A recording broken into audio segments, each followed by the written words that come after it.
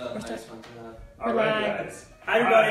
Hi. Hey, hello. We're live. We're live here from KosherWine.com. We got Ari all the way on the left. Uh, as many of you may know, Ari, our fine wine consultant. If you've ever wanted to know anything about wine, you probably reached Ari. He's probably giving you the best information ever. Thank you, Doug. We also have Gabe from Royal Wines. Hey guys, and uh, we're very privileged to have him here. Uh, we're going to be trying some amazing wines today, and you're going to be getting two expert opinions and one novice opinion. Um, and uh, that way you can make your choices. Uh, thank you guys for being here. They Thanks. traveled from far. thanks for uh, inviting me. All right, and um, we'll let Gabe get us uh, started here with uh, what we're going to try first, and maybe just tell us a little bit about what to expect. So, for those of you who want to make sure that you stay tuned, you'll know that it's well worth it. All right, so we have a great selection of wines here. All the wines uh, here are from Bordeaux. Uh, Bordeaux is uh, an exciting uh, region. On each one and a little bit of where they're from, and um, obviously you can find all of them on kosherwine.com. So um, let's get started. Let's do it. All right, ready. You guys ready? I'm ready. All right, So Gabe, you want to start with the first wine that we have? Yes, uh, so we're going to start with the right bank and specifically uh, with the Chateau Soutard. Chateau Soutard here is uh, 2014, so it's a little bit older, just a little bit uh, than the other wines, so it's going to be uh, a bit more approachable, uh, a bit more ready to drink, although this wine still has a lot of time.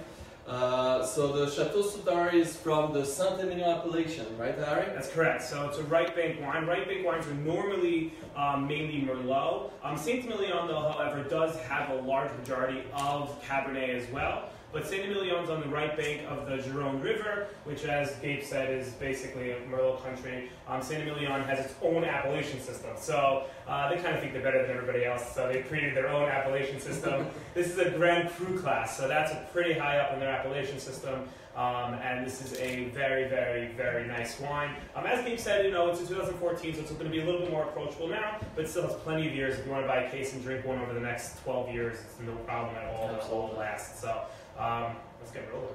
Let's get rolling. All right, and um, uh, to try them in the, in the years to come. I think we still have all three of those, right? The Take the Peak and the yeah, they're all available. Um, Doug's favorites. Uh, well, from, la- from last year, from last year favorites, and I'm excited to try the cigar because I have not been able to try it since the KFWE. So this is a year later, a little over a year later, and get to see how it's developed uh, one year later. So what we're using on the table are these coasters, which we have, which come in every order, right, Devin? Every single order we get, Yeah. we get style coasters. Every case order. yeah. So they have a dual purpose, which I just literally realized as we're sitting here right now. So we're using them as coasters.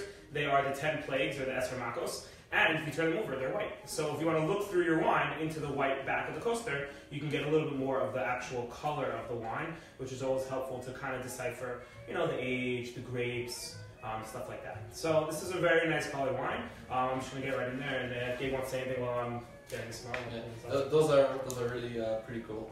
We'll give you a set before you leave. Oh, Even if you don't order Wow. it. That's what you get for coming here. You get a set of coasters. It was, it, was, it was well worth coming down here just to get this. Just to get the It also it also comes with each case you give us, so Yes. you'll get two sets. And as we're trying these, if you guys have any questions, please feel free to uh, set up your questions, send them to the to the live. We'll be happy to answer them along the way. Um, that's just the really, really hard ones. Those are our, our favorite ones. We'll send those to Dublin, so uh, he'll be happy to answer them along the way. Absolutely, I love the hard questions. All right, so if you want me to get on my first approach on the on the nose on the wine, um, I'm getting a lot of um, red fruit, which are good Merlot characters. I'm getting a lot of um, like red, red cherries. Uh, also, maybe if you go in a little bit more also towards the black fruit as well, uh, maybe some raspberries, which can kind of bridge the gap between the cherries and the blackberries. Yeah, raspberries, I get that a lot. Uh, there is some uh, hint of earthiness uh, lying underneath, uh, which will come out as the wine ages uh, as part of the tertiary aromas. Uh, tertiary aromas, which in uh, old wines and, and Bordeaux wines in particular, come come more as the wines get some age on them. So let's talk about that actually, Ari. Yes. Uh, what we're talking about when we say primary aromas, secondary aromas, tertiary aromas, what is that? So primary aromas, what we're really talking about, what Gabe's means, is that the primary aromas are really the first like hit of fruit that you're going to get. Um, you can get really red fruit characters, and get black fruit. So this, for me, is more red fruit. Maybe there's a little bit of a black fruit underneath, but it's not hitting me black fruit like a big Cabernet would, which is perfect because, as we said, Saint Emilion is mainly going to be Merlot. So this probably has a whole bunch of Merlot in it, which would show the red fruit character. So primary aromas are really the red fruit, the fruit, but it could be black fruit, but just depending on which wine you're having. But primary aromas are fruit-based, uh, fruit-based and uh, even some minerals could really be primary as well. When you go to secondary, secondary aromas are more coming from like an oak, which is something that would be brought upon the wine, something that would be added to the wine, part of the winemaking process. Exactly. So you could get something like a cigar box, or you could get something like cedar or smoke even Yeah. could be coming from the oak. Those are really the secondary aromas. The tertiary aromas, as Gabe said, um, is something that more that comes with age. Um, tertiary aromas are, are, uh, are aromas that will be brought out through the wine. As some of the fruit drop away, those primary aromas, the tertiary aromas really start to come through. You get something like forest floor, or you get something here like um, almost like a bark character. Yeah, mushroom, Yeah. leather, uh, all those are really uh, uh, aromas that are very unique uh, to where the wine comes from, to the varieties, uh, to how old the wine is, and uh, well, when it comes to uh, Saint Emilion, it gets that uh, uh, some muskiness that is very typical to Merlot, uh, and uh, which will remind you of like you know those. If, if you go to the, to, to the to the farmers market and sometimes they sell those uh, those wild mushrooms, uh, it, it, it, it's often it, it often smells uh, and tastes like that actually. Whole Foods in your glass, right Yeah. And tell me. All right, so let's see how it tastes, but um, we are probably going to be spinning because it is A lot of wine. it's a lot of wine. So yeah. Yeah. So yeah. Um, so so no bracha because we're going to be spinning. So there we go. I'll drink a little. Or I'm not, I'm very good. Amen.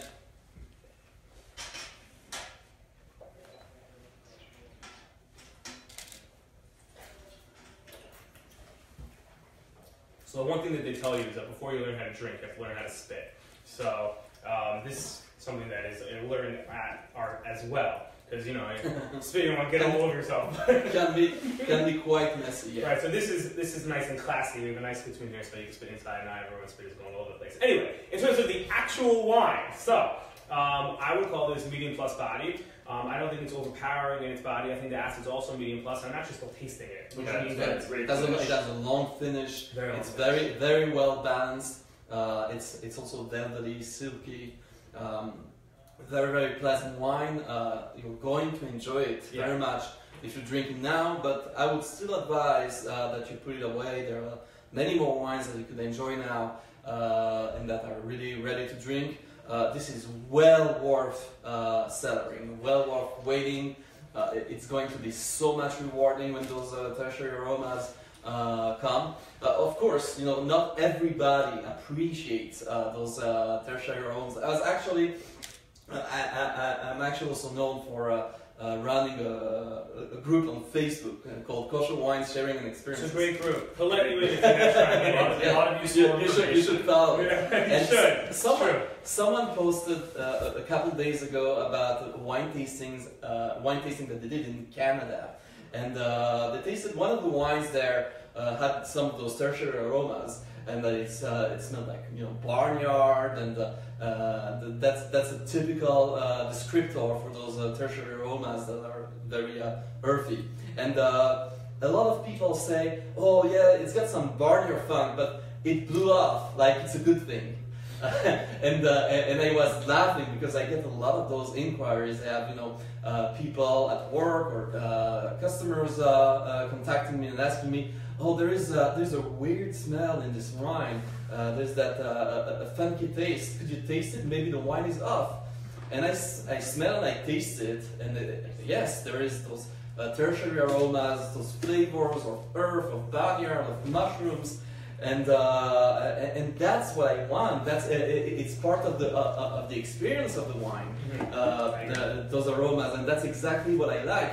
Uh, there's nothing off of it. I mean, you may not appreciate it. That's very much possible. That's also an acquired taste. And uh, with experience, with practicing, uh, with tasting more uh, aged wines, uh, you're going to get to those aromas and flavors, and maybe you will get to, uh, to like them as much as I do, Mhm. and maybe not. Uh, but uh, it's not that there is something wrong with the wine. It's just uh, the, the way uh, the wine is uh, supposed to taste. And The uh, best and, way to learn and I, re- about it. and I really love that. and he's and Gabe's 100 percent right. The best way to learn about it, and the best way to continue to to develop a palate, which is something that I myself do all the time. I think all of us do, honestly, is that the more you try, the more you see. We're trying here all these wines. Just we're going to learn more about trying wine in our palate every single time we try wine. And you can see, oh, this wine has barnyard in it. Oh, that's so interesting. That one didn't. And you know, you could learn things every single time you do it. That's just one of the things that I enjoy about doing it. And just a note on the, this is the first, this is the only wine that we're going to be tasting today from the actual 2014 vintage. Um, so I know we all kind of like forget about 2014 because 15 is like, oh my god, 15. But Yeah. as a secret, also just wait for 16, by the way. But as a secret, um, 14 was also a really, really good vintage. It came on the heels of a 13 vintage that was not the best one in Bordeaux. So 14 was really highly rated. Um, obviously, it's not 15 and it's not 16, but still, 14 is a really good vintage to cellar. Um, to cellar vintage, I don't think it's a really drinking vintage right now. But as we were just talking about, you know, you can get a case and try one each year and see how they develop along the way. Um, good. We like Yeah, so? I was just gonna mention, I'm noticing like some ripe fruit, and like you know, not necessarily like stemmy, but like you still have a bit of ripeness, especially on the finish. Even a bit in the, even a bit in the nose. Mhm. Um, it's funny because like last year when I tried it, I don't re- recall it having that profile. So even though it's aged a year, it kind of even tastes younger than. And I know it's different settings, so some and maybe that breathed longer. So all those things uh, play play a factor into it. And talking about the tertiary notes, the tasting we did with all the library wines, and Gabe, you were there as well. And I remember distinctly, like always, the finishes of those aged French wines, and this is probably like you know characteristic of that is that you get like that marzipan, that nuttiness at the end. Um, and especially if you if you store them well, it really pays off. So yeah. any of these wines that you're going to purchase, definitely store them and store them properly. And in, even in ten years, you don't even have to wait longer than that. I'm assuming ten years, uh, you, it will it will pay off handsomely. Okay, so I think what we should do is let's move on to the second one, and at the same time, we'll just say no, because Java just said about selling, so game around, just maybe talk about littering, what is important to selling, what do you need to have a good cellar? If you want to drink, let's say the next one, the Fontenil that we're going to have in 2015, if you want to have it in 2025, what should you do to ensure that that wine is still going to be good as 2000, as the years go on? Okay, so wine storage. That's uh, that's always a very important. Uh, sorry. no problem. And I'm sure we're going to be getting que- before you jump into that. I'm sure you're going to be getting questions. So I'm just going to hop online here and try to take a quick glance at some notes that may be coming in, and that way I can bring up the questions as as they roll in. So uh, go ahead, continue, and uh, if I see anything, I will I will bring it up. Wine storage. Uh, how you should keep uh, your wine so it will age properly, so uh, it won't go bad uh, with time. Uh, I mean, a lot of people just you know, keep their uh, wines around a kitchen cabinet or something like that, which is the, the worst place to, uh, to, to store your wine. No, the kitchen Terrible. gets hotter than any other room in, uh, in the house. And uh, wherever you, you, you store your wine in, in the house, I mean, unless you keep your uh, air conditioning on on uh, below 60 degrees uh, year round, uh, that's a, that's a terrible idea, and nobody, of course, uh, does that. Uh, so uh, one of the options, the first option, which is not so recommended, uh, is that if you have some cool place in the house where there is not not much uh, fluctuation in temperature, uh, that's that's that's that's where you could uh, store a few bottles. If you really cannot invest uh, in a in a more uh, appropriate uh, uh, aging uh, aging tool. Like a Uh, when I when, when I excuse me for a What- second. what- I'm gonna- I'm going to close the window. Yeah, Kate would be great. Not everyone has one. Uh, exactly. Uh, uh, and what what I'm talking about, the aging tool. Uh, yes. So a wine fridge or wine cooler. Yeah. Uh, you can get one for like a hundred, uh, hundred bucks, hundred and fifty bucks uh, for like twelve dollars, eighteen dollars. Uh, I mean that's that's pretty small, but it's a, but it's a start. Uh, and uh, you can set the temperature to uh, 53, 55 uh, degrees, and uh, that's where you could uh, you could store some very very special bottles for a very special occasion uh, to enjoy. And I agree with Gabe. I'm going to cut you off. Keep going. You're doing fine. Keep going. Then you, of course, then you can upgrade and get you know bigger uh, fridge. Uh, there are a handful of uh, recommended brands uh, that make uh, you know wine coolers for 100 bars, for 200 bars, uh, and so on. We're not going to say their names until they give us free ones, though. Exactly. or you could, uh, if you have a small room that you could isolate in your house, uh, and put maybe an air conditioner in uh, that would uh, function all the time uh, to keep it uh, to keep it cold. Uh, that's a solution. It's not ideal, but uh, it's uh, it's already better. And of course, if you can invest the money, uh, but that's not a bad idea because it could uh, add a lot of value to your house. Uh, you could build uh, a cellar, but that will set you at, at least fifteen, twenty thousand dollars.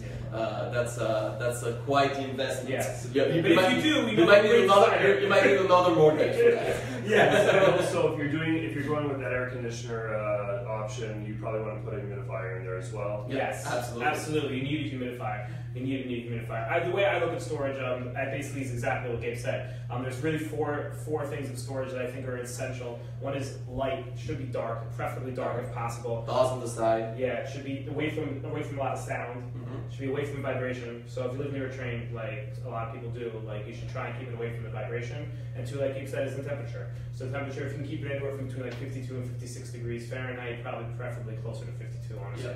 Um, it'll be you'll store it. The, the most important is the temperature fluctuation. It's better to have uh, a cellar, a place where you're going to keep your wine and it's at 60 degrees, but it stays at 60 degrees, than the place that it goes from anywhere between, say, 45 degrees to uh, 56, 58, and it goes up and down all the time. That's not so good. Better that it's a little bit higher than that, even, uh, but it's stable and, uh, and doesn't change more than 1 2 degrees uh, every few months. Perfect. Awesome. All right, so let's move on to the second one. Okay. Um, the second one that we have is, uh, Gabe, why don't you tell us a little bit about it and then we'll, we'll try it together. Okay, so this one is very, very interesting. Uh, this is Chateau Fontenil, Chateau Fontenil from the Fronsac appellation. The Fronsac appellation is the lesser known uh, appellation of the right bank of Bordeaux. It's uh, north of Pomerol, which is uh, uh, Like borders on exactly, yeah, and then you have Saint-Emilion. Uh, the, the, the, the Fronsac appellation is also using like the rest of the, of the right bank, uh, mainly Merlot in, uh, in the wines. Uh, although from uh, what I recall, uh, this wine is 50-50 uh, Merlot and Cabernet Sauvignon. Uh, this estate, Chateau Fontenil, is owned by uh, Michel Rolland. Michel Rolland is arguably the most famous, the most uh, sought after uh, wine consultant, uh, enologist, winemaker uh, in the world. Regardless Um, of kosher or not, just in the world. Exactly. He works at literally like 150, maybe 200 wineries all over the world. He travels all the time. Uh, he advises wineries uh, all over to how to make it in Bulgaria, Bulgaria. in That's true. California, in Israel. Yeah. Uh, he, he- he really works uh, everywhere. Except that here, that is his winery. He owns it. He makes the wine himself. There is no consultant winemaker there. Uh, he's the owner. He makes all the decisions from uh, beginning to end. Uh, and uh, and that's that's a wine that truly reflects uh, his style. He likes those fleshy, powerful wines that are very rich and velvety. Uh, and uh, that's exactly what this wine uh, is. It's also like riper. All right, I'm excited. Let's try it. basically, basically, you're bridging a gap between the new world and the old world style-wise. Awesome. Of Michel Rolland. Okay, and this is also this is the first release, I believe, at least of kosher. It's the first release of uh, a kosher wine from Chateau. Yes. So very exciting. Uh, this was also at the KFWE this year, uh, so people who were there were able to try it then. I had it. This is definitely um, my. It was, if not my, to- it wasn't my top wine, uh 'cause and we don't have my top wine here, but that's fine. Um, it was my, it was my second or third choice, and I'm pretty sure we we uh, we were live there. Yeah, yeah, we talked people about this it. one. We talked about the all the awesome wines that we tried at KFWE. Um, I, we're, we're abbreviating KFWE, but let's just just a little bit. I know we already had it, but KFWE is the kosher food and wine event that Royal puts on every year. It's a must Um, attend yeah. event. Like you got it. This is the best go. kosher event that I've been to. They do one in Miami, one in I mean they do all over the world. But in in the US, Paris. Miami, Israel also, right? Yeah, they do in, in, it Israel also?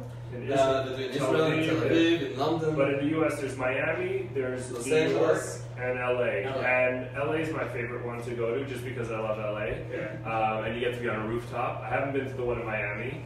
Uh, but New York is by far like the biggest one, and it's the most like hustle bustle, and you get like the food and the wine. It's just an amazing event.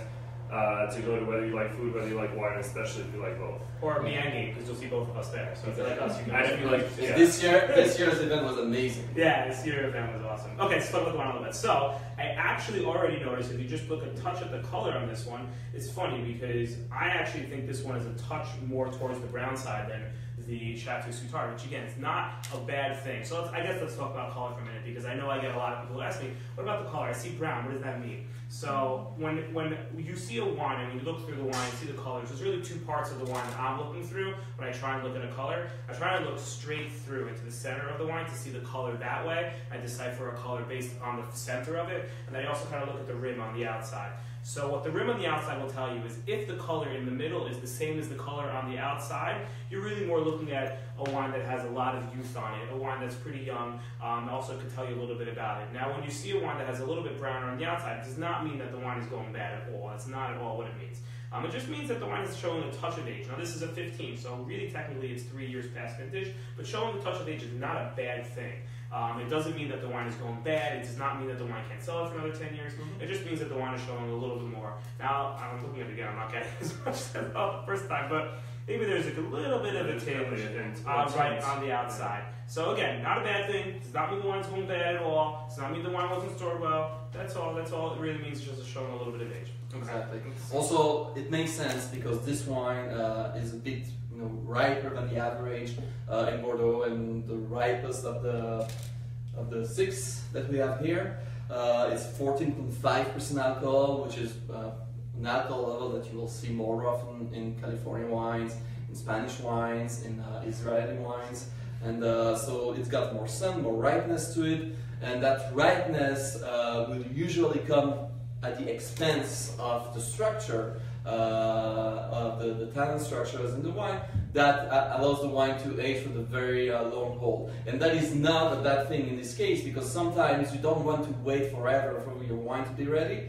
Uh, not all wines should be uh, should be aged for 20 or 30 years. Uh, 10 years is also very good, and uh, that means that this one is going to be approachable probably sooner, ready to drink sooner, and uh, and you will be able to uh, enjoy it at its peak uh, in a few years' time. And I actually agree with that because you'll see, you're going to smell it now also. If we compare it to the 2014 that we just had, the Soutard, and this one, which is the 2015, I think this wine is more approachable now. I mean, you get more complexity of flavor, you get more of the tertiary notes that Yeah. we were talking about a little bit before. Just because the fact that it's a 2015 and the 2014 doesn't necessarily mean that, oh, this wine is, is younger, you can't drink it. This one is approachable now, right now. Um, could you age it for five to eight years easily? Easily, Yeah. easily. But uh, you could still open a bottle now, decant it for an hour, um, let it breathe for two or hours, or whatever, and you could absolutely drink this wine right now. I actually really, I, I really happen to like uh, the nose a lot. I'm, I'm still getting a lot of the red cherries that you talked about, Yeah. red fruit on the last one, like cherries, raspberries, even maybe a little bit of cranberry.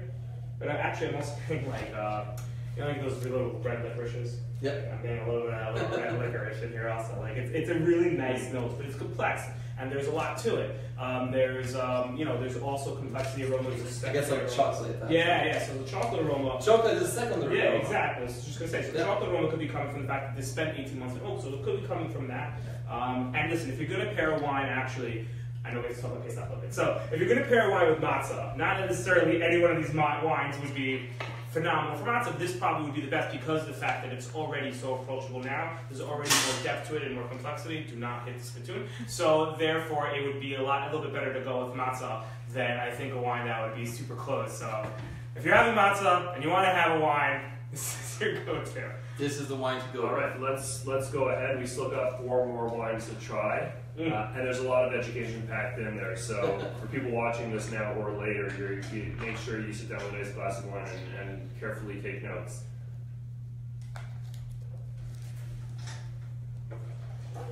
And if you actually have one of these in your cellar, you can open it up and you can try it with us. Yeah, You can I was that- about to say that actually. I spit first, that's why. great, great minds think alike. yeah, so there's four more wines. You can see them right in front of us. You can pause the video. You can go grab one. You can open it up, um, and you can try it with us. And you can say, and someone says, "You're opening the wine way too soon." You're drinking it with professionals, so this is an, this is educational. So therefore, it's okay. You're allowed to do it. Plus, you can buy more from us anyway. Well, you can drink those later on. Um, all right. So in terms of the wine, so actually this is a much fuller map. I get a lot more to this. Um, There's more complexity, there's more roundness. Um, I'm getting more of the tannin structure than I did on the Soutard. I think the Soutard is, is like is just a little young. This is really ready to go, close to it. Um, those tannins are really nice. The finish also still pretty long. It's a big drippy. Yeah, it's yes, and I think that's really the kind. It's also the 18 months in, New, in French oak could be could could go to that. Also, um, if we're getting real geeky for a minute, um, the Fronsac region compared to the rest of the regions that we have on the table, is, it doesn't have the same pedigree, doesn't have the Right. same stock, doesn't have the same depth of the flavor and complexity. So therefore, when the grapes aren't as guess I'm gonna use the word chashuv, but they aren't as, you know, they're not as important, they're not as, um, they're not as prominent, thanks, Tommy. So therefore, the oak will play a larger factor in the wine, it'll make it a little bit more chewy. Um, but it's still a very nice wine, it's still a wine that you could drink right now, it still has complexity, flavor, pair with matzah, so yeah. that's- And let it breathe. I would definitely let this breathe uh, Let for a couple breathe. hours Mhm. at, at a minimum. Yeah, two to three hours into the Yeah. would be perfect. All right, let's let's Awesome. uh, let's move on. Okay. Uh, guys, grab your grab grab the spittoon. Pass it back over to my side. Yes. Okay. So um, all right. Uh, briefly, let's uh, let's introduce the next wine. Chateau Fayat. So uh, Pomerol is uh, the third appellation uh, in uh, in uh, in the right bank of Bordeaux that we were talking about, which is uh, probably the most driven, uh, the most Merlot driven of three. Uh, many of the wines in uh, Saint-Emilion have, uh, have a lot of Cabernet Franc or other varieties, a bit of Cabernet Sauvignon, a bit of Malbec.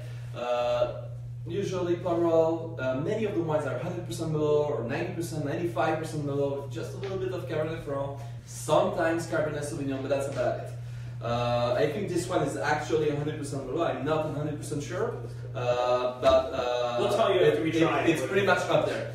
Something very important, I get a lot of, uh, many, many times I hear, uh, Merlot is not as, um, is, is not as, you know, prestigious or as chashuv as uh, as Cabernet Sauvignon. Uh, it's like a secondary grape. Well, first of all, Merlot is the most planted variety in Bordeaux.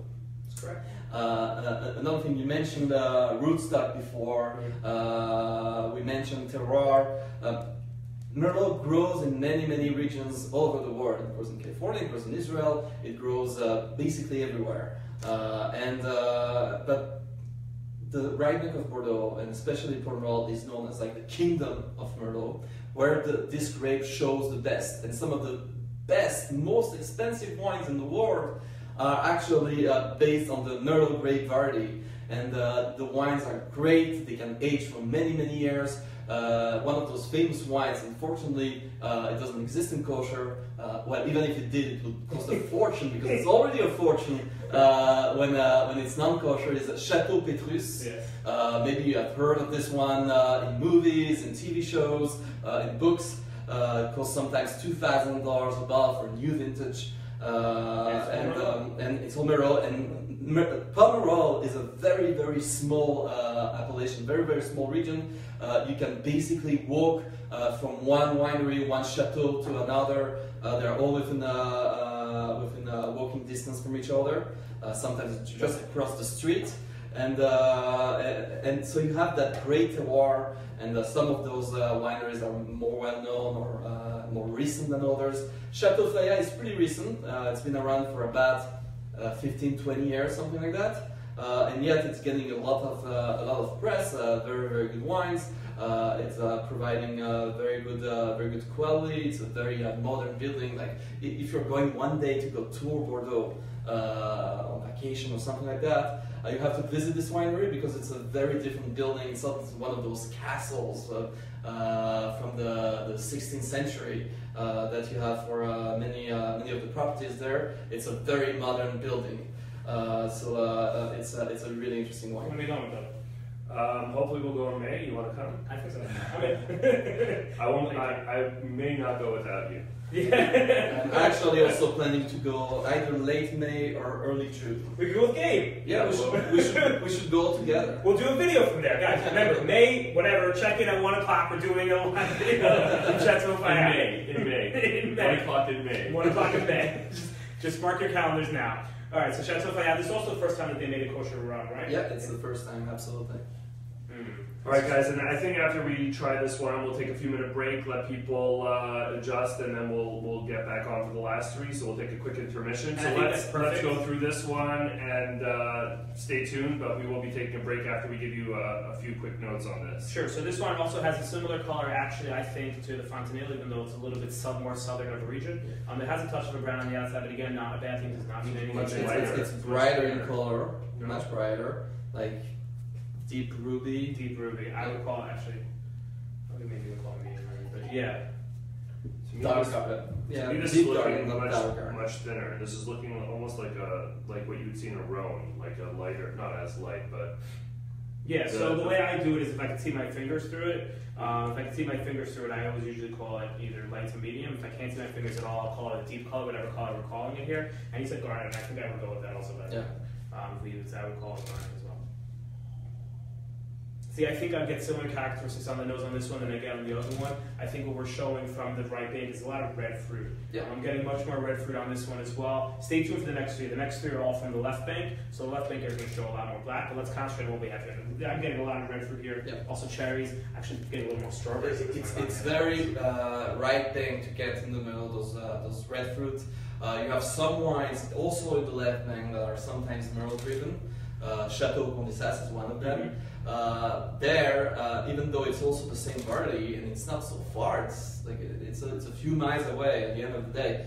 Uh, you'll get a more blackfoot blackberry uh, profile. Uh, it really shows that uh, the elevation, the soil, the, the microclimate of each specific regions, each appellation will change the, the profile of the wine, and that's why I encourage not to generalize too much uh, when you talk about a, a variety and say, oh, I love Cabernet Sauvignon, or I love Merlot, or I love Shiraz, or I love this, or I love that, because uh, each and every grape variety uh, can uh, showcase a different profile, a different style, different aromas and flavors, uh, depending on where it comes from, on the style of the winery, the winemaker, etc., etc. And this is a perfect example, when I think of where you see terroir in a grape And- wine. right. Now, and just to, to that point, we uh, Oh, you we we did this we did a tasting at City Winery and then here in, in the area where we showcased our chosen barrel Syrah, which is 100% Syrah, and the Hermitage, which is also 100% Syrah, one from France, one from Israel. Crozes-Hermitage. Total, Crozes-Hermitage, totally different uh, taste profiles. You have the Hermitage, which is a lot more earthy, and, and those the, that profile, and you have the Syrah from Israel, which was fruit. Mm-hmm. Both 100% Syrah, to the Mhm. point you were just making, tasted totally, totally different. We, we uh, as people came up to taste, we gave them both of them, asked them which ones they liked. Um, the, the market here is very into the Israeli wines. Most people prefer the chosen barrel reserve Syrah, but for those who've already, you know, have a have a wider, uh, you know, a wider range of, of, of taste that they enjoy, the Crozes-Hermitage is also a great uh, 100% Syrah wine. Right, and what I would say about both of the, what we're comparing here with the Fayat from Pomerol and the Crozes-Hermitage from the Northern Rhone, um, they're both very true examples of what a grape can do when they're in their home territory. So Crozes-Hermitage or the Northern Rhone is really the home for Syrah, and where it was born and where it really showcases its perfect varietally true character, and it's the same for Pomerol and Merlot. Um, when you go to Pomerol, I mean, this is this smells like the clay that it was, the soil where the grapes were grown. Like it is a perfect example of what terroir is in a wine. Um, like you can almost like close your eyes and feel like you're there. You can see Yeah. the clay. You can see these little tiny Merlot berries. Like it, it's perfect. Like it's it, this is really really a beautiful wine. It's composed well. There's no over alcohol. There's no over acid. It's got a long finish. There's a lot of flavors, and it's a baby. So you can oh, keep it for the next 10 to 15 years without a doubt. Follow the instructions on how to cellar it, and you'll have these beautiful wines for the next 15 years. All right, guys, we're going to take a quick break. So join us back. We'll be live to showcase next three wines. Thank you, Ari. Thank you, Gabe, for now. See you soon. We'll be right back.